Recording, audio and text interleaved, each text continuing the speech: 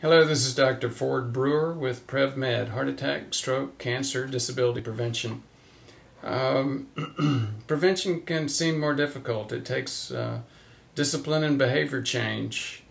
But uh, ask the folks that have had um, bypass graft or are looking for a cure for their cancer. Uh, in the long run, prevention's better. Today we're going to be talking about the gut biome, the bacteria in the colon, and its impact on uh, weight, weight gain, weight loss, even insulin resistance. There's going to be something about artificial sweeteners here too. You've been by the TV, you've seen uh, shows saying, well, um, artificial sweeteners can make you gain weight or artificial sweeteners can um, cause insulin resistance. Here's where that's coming from. This is a Scientific uh, American article in 2015. Artificial sweeteners may change our gut bacteria in dangerous ways. they were quoting a, this article. It's from Nature magazine. It came from the Weizmann Institute in um, in uh, Israel the Weizmann Institute's doing a lot of very interesting, groundbreaking research right now in terms of the gut biome and weight gain and artificial sweeteners. Um, this one is titled, this is the one that the Scientific American article was quoting Artificial sweeteners induce glucose intolerance or insulin resistance um, al by altering the gut microbiota. In other words, the um, the bacteria in the gut. So again, Nature magazine is very, very well respected. You're going to see some really good science in here. Most of this is around showing insulin um, or, or, oral glucose tolerance testing for these animals and um, bacterial components. I blew a couple of the couple of those up to basically uh, make it easier to see. This is the oral glucose tolerance testing. Um, this lower line is the control group. The upper line is the group that took saccharin, as you can see, saccharin uh, treated animals. And their fasting glucose as well as their immediate post challenge and one hour and two hour. Very different. And again, it does appear that saccharin increase, uh, created insulin resistance in these animals. One thing they went on to do was give them antibiotic, and they were able to um, and put a put new uh, bacteria back in to these animals with a gut transplant and uh, reverse that insulin resistance. So very interesting results and very compelling. Now, what are they doing to the uh, gut bacteria? There are uh, lot of different types of bacteria in our colon, in our gut. But uh, research has already shown that you can break them, for the most part, into two different types the Bacteroides uh, type and Firmicutes.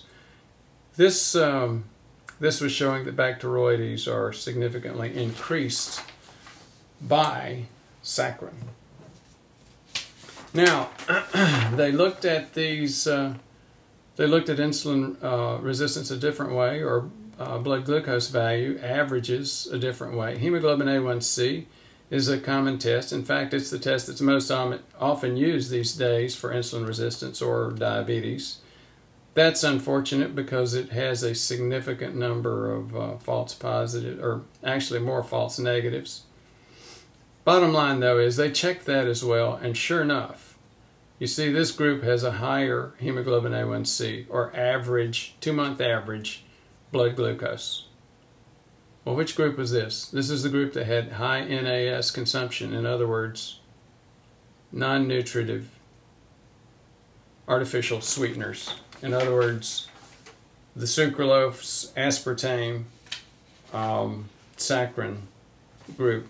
And you, you may say, well, I don't, uh, I don't use saccharin. Well, it, if you drink diet soft drinks, you drink uh, aspartame. Now, here's another another piece of research around gut bacteria and um, obesity. In this one, it was an interesting twin study. This was quoted in the New York Times, picked up there and uh, and described. So the, uh, in this twin study, they found human twins. One was obese, one was uh, thin.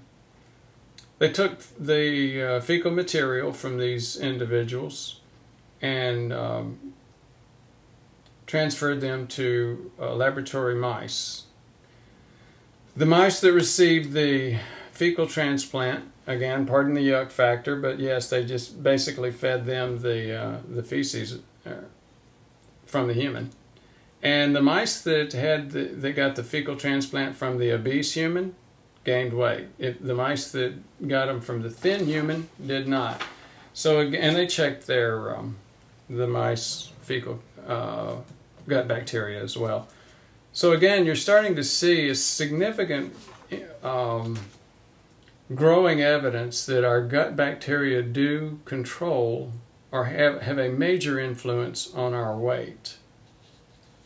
In fact, uh, Science Daily covered another article in Nature um, regarding yo-yo obesity. You know, you've uh, uh, Oprah's been been uh, pilloried in the press for having some yo-yo weight loss, but you know what? That's really the most common experience that people have gotten. You try to change your uh, weight, quite often you can do it, but then quite often you slip right back.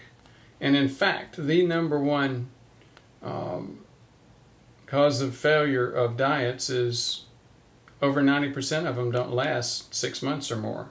A dietary change has to be permanent in order to make an impact. Well, we're all talking about forcing the issue here with behavior. They're saying, look, for some reason the bacteria may change that behavior. In other words, the metabolism may create the behavior. The the gut microbiome may change that behavior, and this is this is what they did. Persistent. Um, this is the title for the again Nature uh, magazine article. Persistent microbiome alterations modulate the rate of post dieting weight regain. So, uh, again, continuing evidence that um, our gut biome may be having, uh, it does, it does appear to be having an impact on whether we gain weight or not, uh, whether we uh, can lose weight or not, and the yo yo effect. So this was uh, this another nature study. This one was done by Jeffrey Gordon, not Jeff Gordon, the race car driver. The uh, Jeff Gordon, a researcher at University of Was- or Washington University in St. Louis, Missouri. Basically, what he did was he noticed that um, rats, obese rats that were cage mates of thin rats, tended to become thin. He hypothesized it was because of the uh, the fact that they were getting a fecal transplant. He noticed that um, they were um, losing weight. He also noticed that it didn't go the other direction. So um, he thought, well, wonder why these fat mice can get thin from fecal transplants from these thin mice, but it doesn't go the other way around. And as you notice here, basically what we're saying is uh, diet is important to make this happen. So what he did was this. He took cereal and pizza and made rat pellets. Rat pellets for chow for these rats. When the uh, obese rats were given this um, rat pellet chow made of cereal, breakfast, human breakfast cereal, and pizza, even if they got the uh, gut transplant from the thin mice, they did not get thin. So that makes a very important point.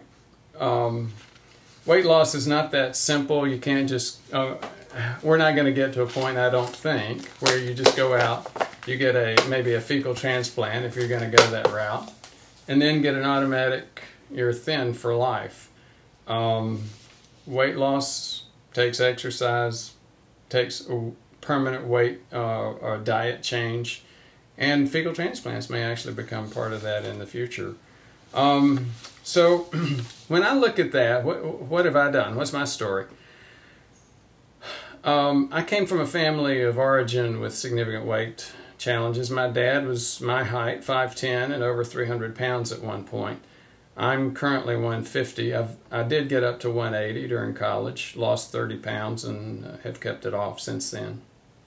I have used non-nutritive sweeteners. Uh, saccharin, uh, when I went to college 30 something years ago, um, saccharin was used quite a bit. When I went for training for preventive medicine at Hopkins, a big part of the debate at that point was saccharin and uh, bladder cancer. Well, at Hopkins, we all prided ourselves on being good epidemiologists, and we noticed that this was this uh, bladder cancer connection was seen only in rats. It had not been reported in humans, and it would probably take a truckload of uh, saccharin ingestion to cause that bladder cancer. So I didn't worry about saccharin. Now, um, I did. I, am a distance runner, and I did drink way too many diet sodas, lots of aspartame. So in 2015, when this study came out, I cut out all of that, cut out every one of my uh, non nutritive sweeteners, including stevia. And if you'll notice, stevia was not mentioned in any of those previous studies. In fact, one of those researchers said, I switched from my artificial sweetener in my morning coffee to a natural sweetener. I'm, I can only interpret that to mean he switched to stevia. Let me give you the rest of the story for me. Uh, even after switching all of those and stopping all of those for a couple of years, uh, a couple of years later, I became significantly insulin resistant anyway. I think that had to do more with my genetics than it did with my butt, uh, gut, pardon that, gut biome. My fasting glu uh, glucose was 110, one hour was 165, two hours was 155. I went to a low carb diet, started metformin, and have had a glucose value over 100 once since then, and that's been many months ago. So more on this later.